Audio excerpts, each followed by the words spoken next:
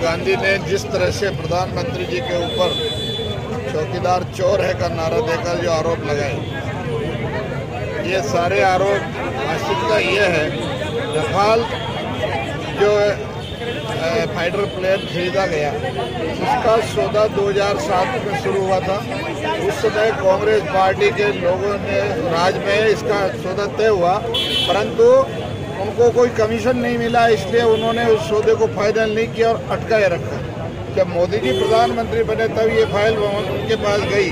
तब मोदी जी ने वापस जो है उस सौदे को चालू किया और रफाल की आवश्यकता महसूस करते हुए इस मामले को निपटाया उसमें 2007 से लेकर 2014-15 तक आप जानते हैं कि सात आठ साल में इतनी रेटें बढ़ गई, इसलिए कुछ सौदा महँगा हुआ।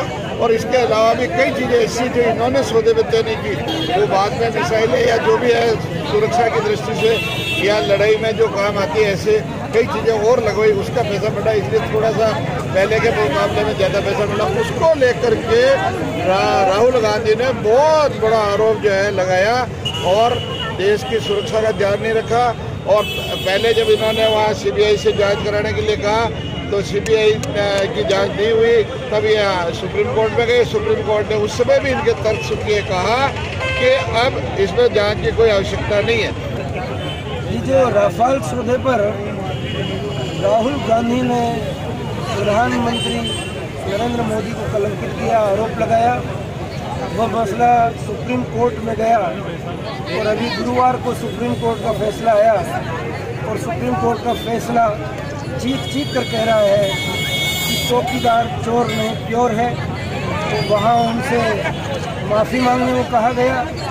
अब भारतीय जनता पार्टी ने आज पूरे देश भर में इस अक्षम अपराध के लिए राहुल गांधी से मांग की है कि वे देश की भावनाओं को आहत करने के लिए, देश के प्रधानमंत्री को बदनाम करने के लिए, झूठा आरोप लगाने के लिए अब देश से सार्वजनिक रूप से माफ़ी मांगे। और इसीलिए हमने आज का कार्यक्रम